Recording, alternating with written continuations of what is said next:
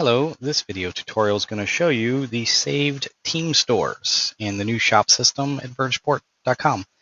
Go ahead and log into your VergeSport account, um, or if you haven't, it will remember the cookie browsing session, but we're going to head and log in here. And you're going to see on the landing page, this is your account page, and in this first tab, which is the team store tab, you can enter a password to go directly to a team store. But here you'll see that there are links. These are remembered or saved team stores. If you click on that link, it'll take you directly to the team store. You can also click here for all saved team stores, and you'll see links to all the team stores uh, that you've browsed. In some cases, you might have very many, and you can click on these particular links either here or under the account tab, and it's going to take you directly to the team store. No more remembering passwords. This is fantastic and super exciting feature in the new shop system at VergeSport. Thanks for watching.